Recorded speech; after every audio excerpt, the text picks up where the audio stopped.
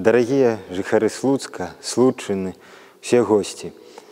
У касцёле перажываем найпрыгажэйшае найсвятлейшае свята урачыстасць з мёртвых паўстання пана Езуса.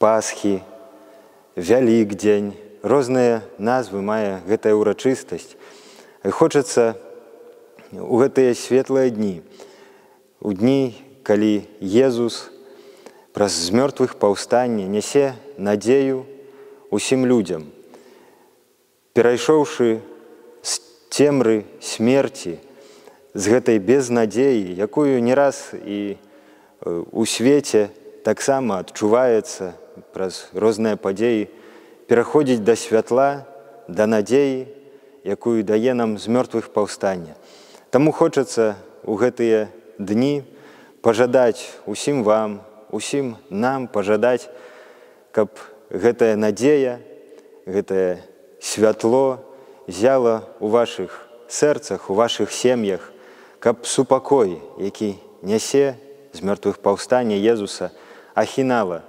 увесь свет усіх нас.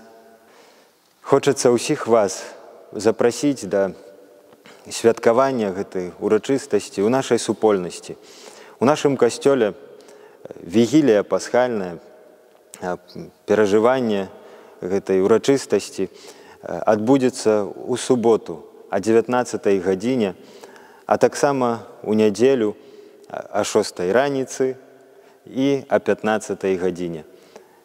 Шчыра вас запрашаем няхай Бог вас благаслаўляе і мае ў сваёй апецы